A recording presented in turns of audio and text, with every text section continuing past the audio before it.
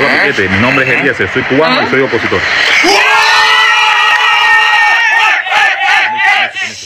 Pero quiero diálogo con la dictadura. Ah. No, señores. No al diálogo.